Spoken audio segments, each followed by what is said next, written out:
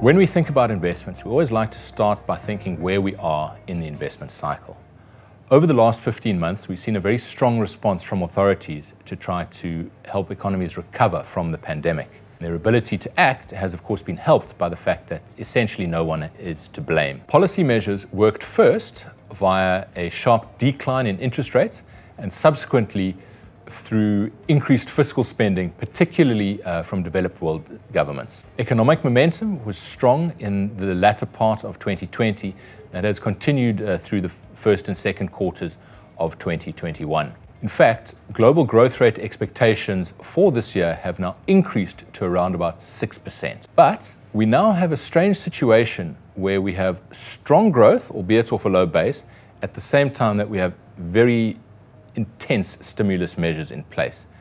This is a combination that isn't really sustainable. The primary story for the second quarter of the year has been inflation, which is natural given all of the stimulus in the global economy. The base is low, so the numbers do look high, but the base is picking up, and we've seen some quite high inflation prints out of the United States. Policymakers for now are viewing this as transitory and accordingly are not adjusting monetary policy just yet. When we think about whether inflation will be transient or sticky, we certainly see a number of transient elements. First, of course, is that as the United States economy has opened up uh, through this year, so we've seen dramatic increase in demand for both flights and accommodation, allowing companies that provide these services to lift their prices, which then flows through to the inflation numbers. Among the other transitory impacts, we've seen the global chip shortage have an impact on many different businesses, but particularly on new vehicles.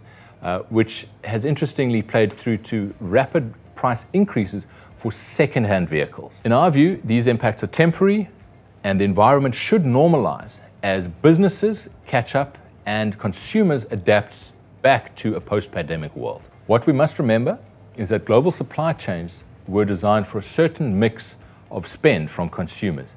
And they'll take a little bit of time to adjust to this uh, in the post pandemic world, but we do believe that they will get that right over the coming months. One clear example of the transitory nature is the way US lumber prices more than tripled from pre pandemic levels uh, until around about uh, early May this year, as people spent more time on home renovations and, of course, more money as well. What we've seen, though, is a fantastic example of Adam Smith's classic invisible hand, where high prices both encouraged supply and put a lid on demand, resulting in quite a rapid price decrease over the last six or eight weeks. And really now lumber prices are quite close uh, to being back to pre-pandemic levels.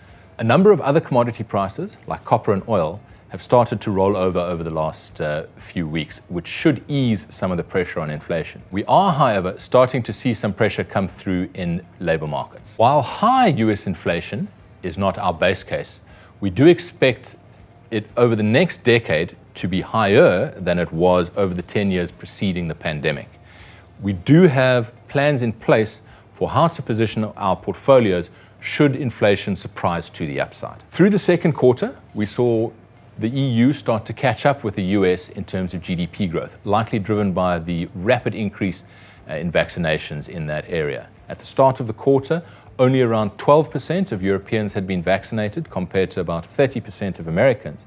Yet by the end of the quarter, both areas had around about 60% of their populations having received at least one uh, jab. This has then seen the opening of sports events uh, around the world, which is uh, certainly, I think, a very positive sign for economies returning back to normal. Economic momentum is strong, but is clearly slowing from the very high levels that we saw in the earlier parts of the pandemic, just given the low base previously. Our expectations remain for strong economic activity through the rest of the year. This should then support company earnings and consequently equity markets. We do, however, know that at some stage, all of this economic stimulus will have to be removed. Firstly, via a tapering of government bond purchases uh, or reduction in the so called quantitative easing and subsequently uh, via higher interest rates. As always, the monetary authorities will have to balance trying to cool the economy down without pushing so hard that it falls into recession. So we must then ask what all of this actually means for portfolio positioning. If we start with global bonds, we've continually argued over the last year and a half and longer that government bond yields are currently very low, and thus the balance of probabilities is that they will rise. That, of course, means that our expectations for returns from global bonds are quite low.